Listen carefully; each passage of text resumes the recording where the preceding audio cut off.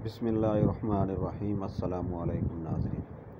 आज की इस वीडियो में हम टीएपी सब्सिडी, ऑटो सब्सिडी और वेरिफिकेशन है और 214 का एरर जो आ रहा था, इस पर बात करने लगे हैं। क्योंकि काफ़ी दिनों से जो ऑटो टीएपी सब्सिडी है या वोचर का रिप्लाई आना बंद था तो वो अब रिप्लाई आना शुरू हो गया है। आज इस पर बात करेंगे वीडियो शूट करने से पहले जिन काशकार भाइयों दोस्तों ने अभी तक हमारे चैनल को सब्सक्राइब नहीं किया तो वो सब्सक्राइब कर लें, घंटी के निशान को प्रेस कर दें ताकि इस तरह की अपडेट आप तक बर वक्त पहुँच सके। तो काशकार भाइयों सबसे पहले हम बात कर लेते हैं कि जो डी का जो टोकन है, उसका रिप्लाई आना शुरू हो गया। क्योंकि काफ़ी दिनों से जो सब्सिडी थी वो बंद थी, ना ही पेमेंट ऑटो आ रही थी, ना ही वेरिफिकेशन के ज़रिए। तो अब जो है, जो टीएपी सब्सिडी का वोचर है, उसका रिप्लाई आना शुरू हो गया है। अब इसके साथ साथ ये भी सवाल आ रहे थे काशकार भाइयों की तरफ़ से जिन्होंने टोकन पहले सेंड किए हुए हैं, उन्हें कैसे पता चलेगा कि वो टोकन लग चुके हैं या ज़ाय हो गए हैं?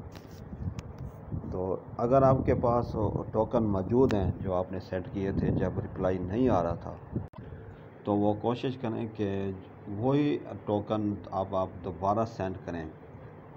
तो अगर आपके टोकन सेंड करने पर रिप्लाई आता है कि आपका टोकन पहले से इस्तेमाल शुदा है तो फिर इसे यही कन्फर्म है कि आपका टोकन पहले लग चुका है और उसकी अभी सब्सिडी की पेमेंट नहीं आई। और जैसे ही कोई सब्सिडी शुरू होगी या ऑटो या वेरिफिकेशन के ज़रिए वो आपको मिल जाएगी। अगर आपके रिप्लाई आता है कि आपका टोकन पहले भी सब्सिडी के लिए भेज दिया गया है या बाद को आता कि रकम की अदायगी के लिए भेज दिया गया है तो फिर इसका मतलब है कि आपकी वो सब्सिडी की रकम आ गई है। तो इसी तरह जब रिप्लाई आना शुरू होगा तो फिर वेरिफिकेशन शुरू होगी। क्योंकि जब रिप्लाई आना बंद हो जाता है तो फिर वेरिफिकेशन भी बंद हो जाती है। जब रिप्लाई आएगा तो फ़ील्ड अफसर की जो, उसके बाद डिवाइस है, उसका ओटीपी आएगा, उससे वेरिफिकेशन होगी।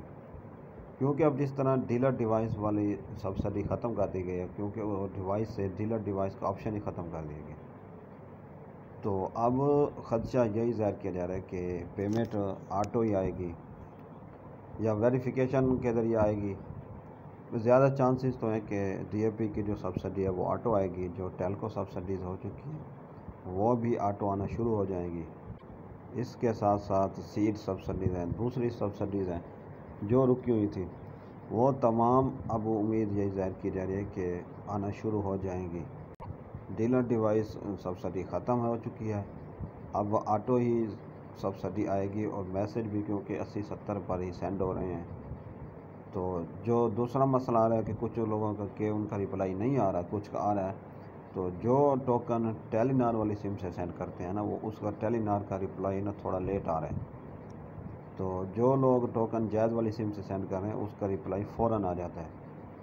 तो इसलिए आप वो दोनों जो क्योंकि जो टेल नार वाला वो तो रजिस्टर है टेल नार वो जैज़ वाली से नहीं सेंड कर सकते। वो किसी दूसरे के नंबर से सेंड करके देख सकते हैं या वो उनका दूसरा नंबर हो तो उसे सेंड करके जैज़ वाली से जल्द रिप्लाई आ रहा है बनस्बत टेल नार के।